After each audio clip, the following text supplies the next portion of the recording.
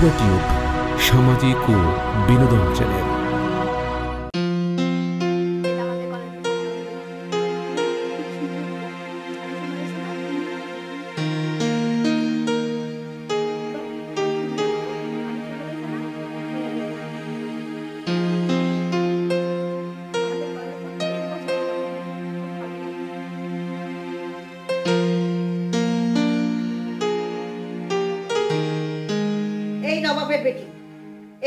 হচ্ছে এসব ওইদিকে যে দুনিয়ার কাজ পড়ে আছে সেটা কি তোমার একটু খেয়াল নাই? আর তুই? কলেজে না গিয়ে কি দেখানো হচ্ছিল হ্যাঁ? এ আমাদের কলেজে প্রোগ্রামগুলো দেখাইলাম। কলেজে প্রোগ্রাম ওকে দেখিয়ে কিলাম ও কি বোঝে? কি ব্যাপার? তুমি এখনও বসে আছো? যাও!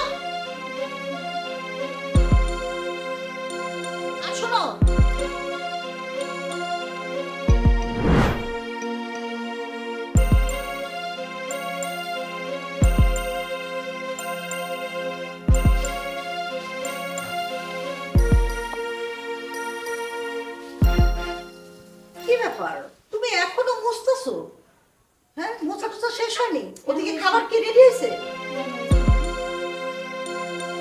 কি ব্যাপার? টেবিল এমন নোংরা কেন?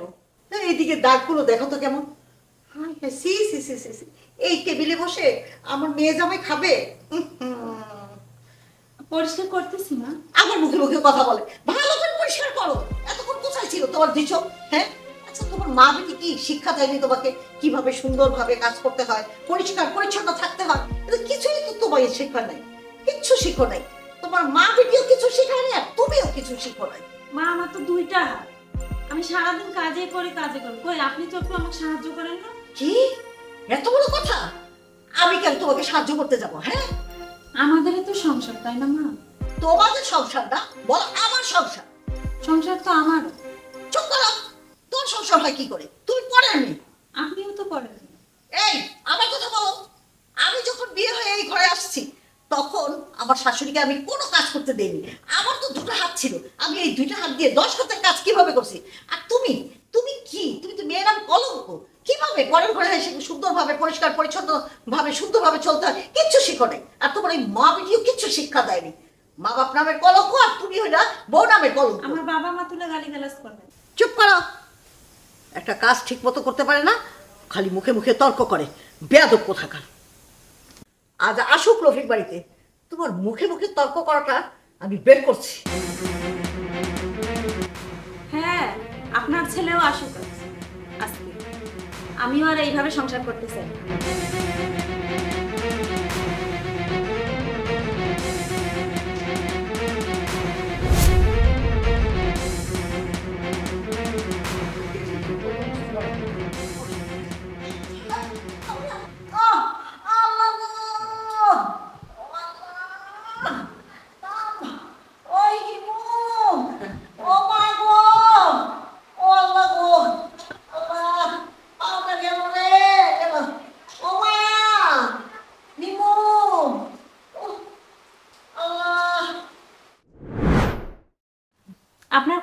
ব্যথা একটু মেসেজ করে দেয় আরে তুমি আবার কি করতে লাগছো?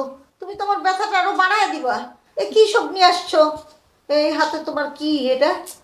মা এটা ব্যথার স্প্রে মলম। দিয়ে দিলে আপনার আরাম লাগবে। এবার ব্যথা না তোমার। দে একটু কোনটা পা? এই যে, এই পাও। আচ্ছা। দেখো আমার ব্যথা বাড়ায় দিও না। আচ্ছা ঠিক আছে মা। ও এই আস্তে ধরো।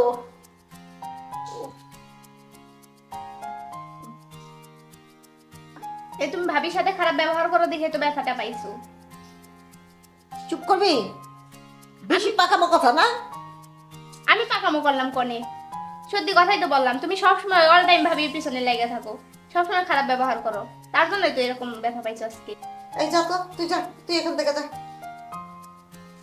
মানুষ একটু ব্যবহার এই মানে ব্যথা পাইলেও তো ই হয় কিন্তু তুমি ব্যথা পাইছো তো এই ভাবির সাথে খারাপ ব্যবহার করতেছো। একটু ভালো ব্যবহার করো। তোমার না মানে এত মেয়ে মেয়ের জন্য নিয়ে কতই কই তারা তো আসলো না? তোমার ব্যথার কথা শুনি না? মা আরাম লাগতেছে?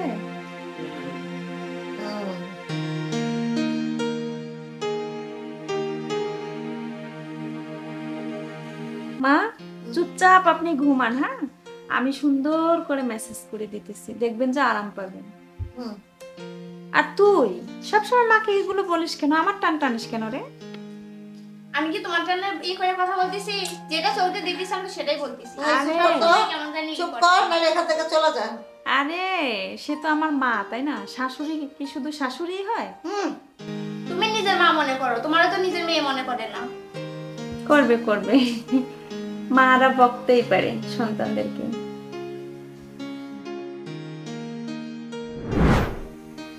হ্যালো? কি রে মা? তোদের আসতে তো লেট হচ্ছে কেন?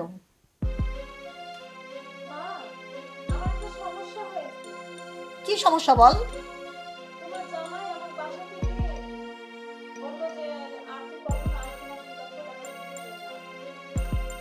কি বলিস এসব?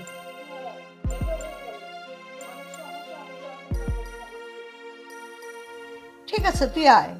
আর তোর জামাইয়ের জন্য এতগুলো খাবারের ব্যবস্থা করলাম, এগুলোর কি হবে?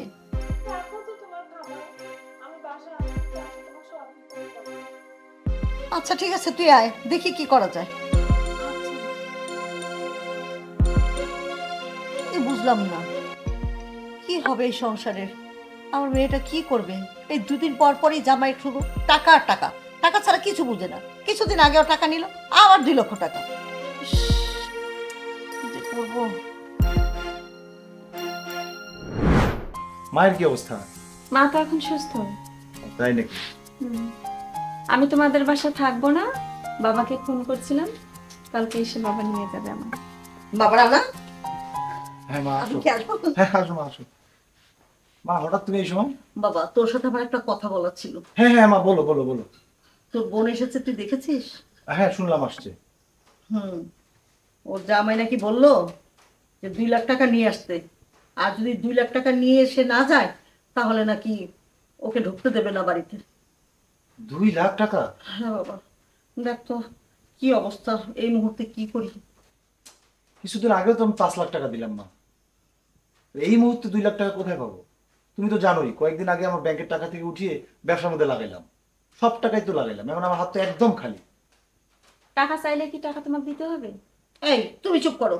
আমাদের মা ছেলের কথার মধ্যে তুমি আসো কেন? তুমি কি দিতে পারব দুই লাখ টাকা? পারবা না। তাহলে তুমি কেন কথা বলো? কিন্তু মা এখন তো আমার হাত একেবারেই খালি তাহলে কি করা যায় বলো তো?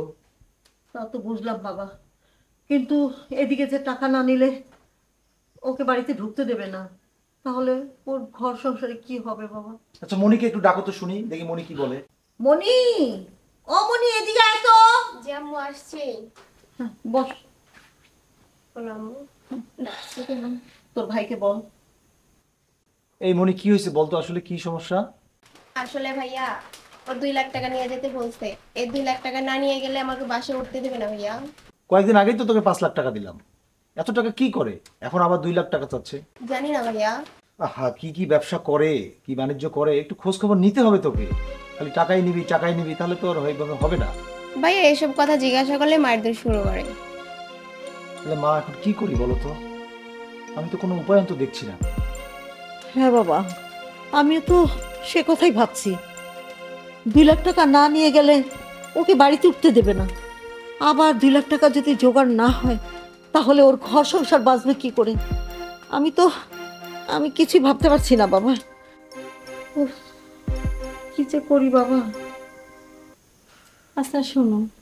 আমার যে বিয়ের গয়নাগাটিগুলো আছে না মার কাছেই তো আছে। ওগুলো বিক্রি করে তুমি মনিরের টাকাটা দিয়ে দাও। আহা ওগুলো তো তোমার বিয়ের গহনা। আচ্ছা হোক না মনি তো আমার বোন তাই না? তোমার বোন মানে আমার বোন না? তাহলে তুমি না দিয়ে দাও।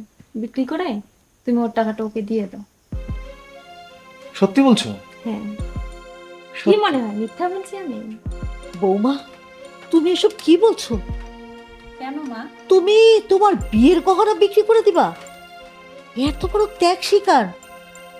কিরে বাবা রান্না তোর বউ কি বলতেছে এসব?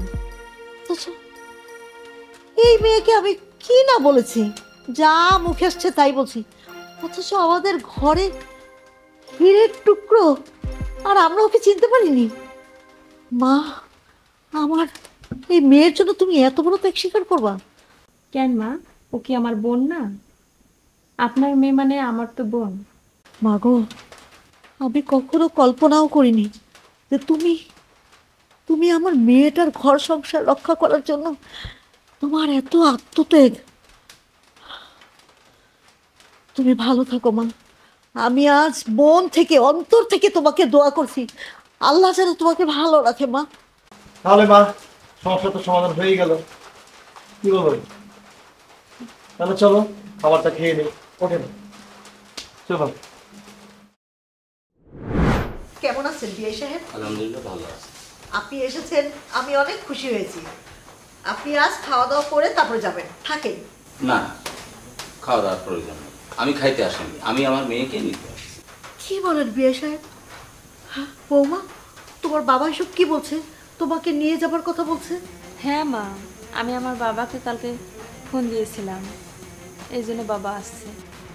না না বিয়ে সাহেব আপনি আপনি ওকে নিয়ে যাবেন না।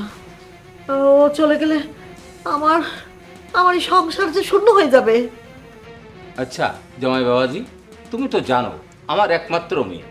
কোনো মেয়ে যদি বাবার কাছে ফোন দিয়ে বলে যে বাবা এই সংসারে আমি ভালো নেই তাহলে আমার মনের অবস্থা কি হয়?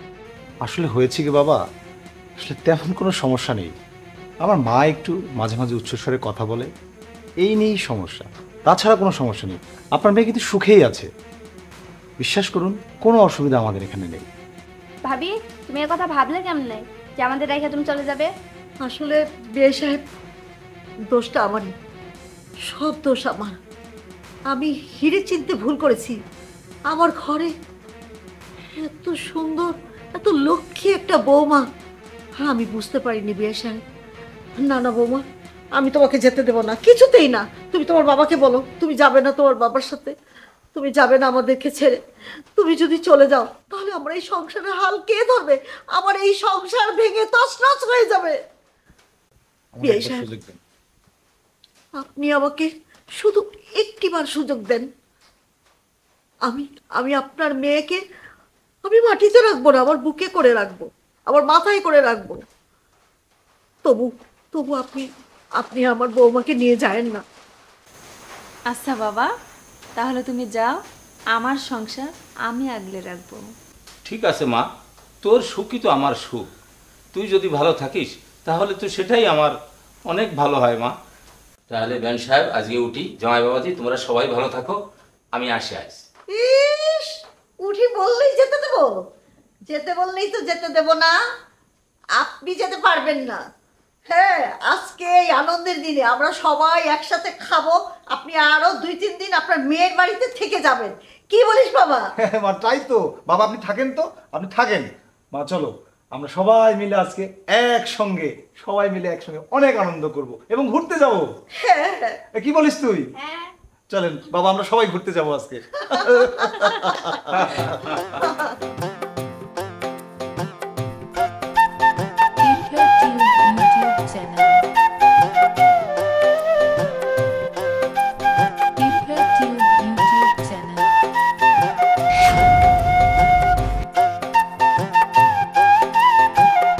যদি আমাদের এই ভিডিওটি দেখে আপনাদের ভালো লাগে, তাহলে অবশ্যই আমাদের চ্যানেলটি সাবস্ক্রাইব করবেন এবং ভিডিওটি আপনার বন্ধু বান্ধব আত্মীয় স্বজনের কাছে শেয়ার করে দিবেন আমাদের চ্যানেলের পক্ষ থেকে আপনাদের কাছে অনুরোধ রইল টিউব ইউটিউব channel.